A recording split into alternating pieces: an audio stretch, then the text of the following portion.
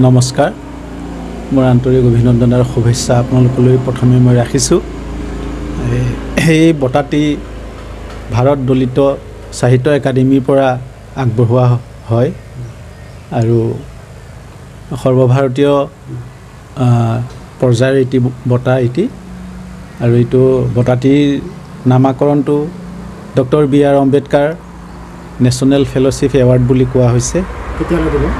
এইটো দুটা তাৰিখ ঠিক কৰিছে নিউ দিল্লীত আহ, এঘাৰ আৰু বাৰ ডিচেম্বৰ। এই দুটা তাৰিখৰ ভিতৰত দুটা পৰ্যায়ত দিব। প্ৰথম পৰ্যায়ত doctor B R Ambedkar national fellowship award অৰ্পণ কৰিব। আৰু ইয়াৰ পিছত আৰু চাৰিটা বঁটা আছে। পৰ্যায়ক্ৰমে ঠিক তেনেকৈ এই দুটা তাৰিখৰ ভিতৰত দুইটা বঁটা দি যিসকল নিৰ্বাচিত হৈছে তেওঁলোকক প্ৰদান কৰিব।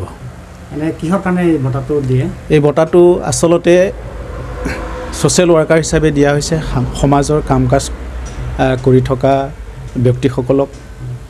তেওঁলোকক এইটো চিলেকশ্যন কৰি পেলাই নিৰ্বাচন কৰি পেলাই এই বঁটাটি প্ৰদান কৰা হয়। আমাৰ অসমৰ পৰা তিনিজন এই বঁটা পোৱাৰ যোগ্যতা অৰ্জন কৰিছে। আহ, মঙলদৈ শ্ৰী নমিতা দাস আৰু নগাঁৱৰ চাম বনিয়া আৰু কাৰ্বি আংলং জিলাৰ মই শ্ৰী দিলীপ কুমাৰ দাস। আপোনালোকে মই আজি এই- এই মুহূৰ্তত আপোনালোকে মোৰ ওচৰত আহি সাক্ষাৎকাৰটো লোৱাৰ কাৰণে মই আপোনালোকলৈ মোৰ আন্তৰিক অভিনন্দন আৰু শুভেচ্ছা যাচিছোঁ। এই বঁটাটো পাই আপোনাৰ কেনেকুৱা লাগিছে?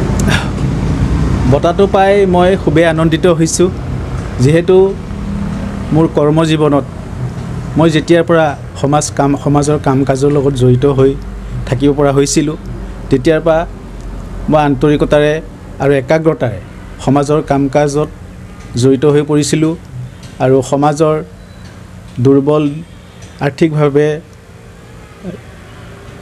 যিবিলাক সচ্ছল নহয় পিছপৰা আৰু যিসকল অনাথ শিশু তেওঁলোকৰ প্ৰতি মৰম চেনেহ আৰু দয়া আন্তৰিকতাৰে ব্যক্ত কৰি তেওঁলোকৰ লগত মই যিমানখিনি পাৰোঁ শাৰীৰিক মানসিক হিচাপে তেওঁলোকৰ ওচৰত মই খাৰা হৈছিলোঁ।